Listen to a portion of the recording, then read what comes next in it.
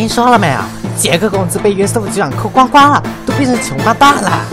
听说了，听说了，就因为躲猫猫事件呗。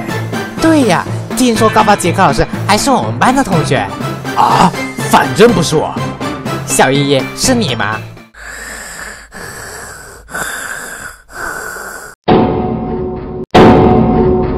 鸭蛋，是你去告发杰克老师的吗？别吵吵了，认真听课。不对呀，鸭蛋什么时候变得这么乖了？就是就是，不对劲。说为什么不好好上课，竟然还玩起了躲猫猫？约瑟夫局长，你个大坏蛋！杰克老师就经常陪我们玩。什么？竟然有这种事？杰克老师工资扣一千？咦，鸭蛋惨了！小一，小一，别睡了，准备上课。啊，不是我，真的不是我告发你的，杰克老师。这孩子睡懵了。就是就是，杰克老师，咱们不跟他计较。废话少说，上课了。自从上次躲猫猫事件被约瑟夫那糟老头罚完工资，乔现在饿的脸都发白了，头发都秃了。经过再三请求，局长大人终于答应再给我个机会。这一次，瞧我怎么把这群熊孩子治得服服帖帖的。鸭蛋同学提问。第五幼儿园所有老师中，你最喜欢谁呢？当然是杰克啦！为什么呢？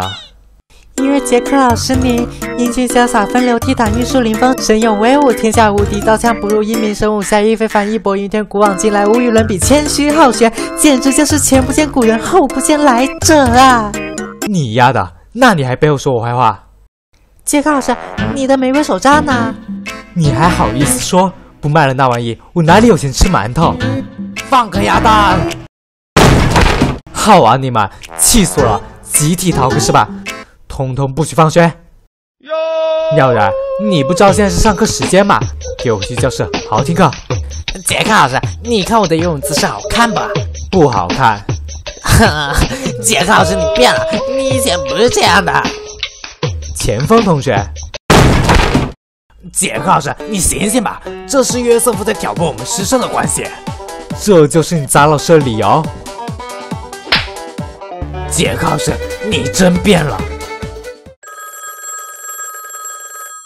杰克老师，哎，约瑟夫局长，你好。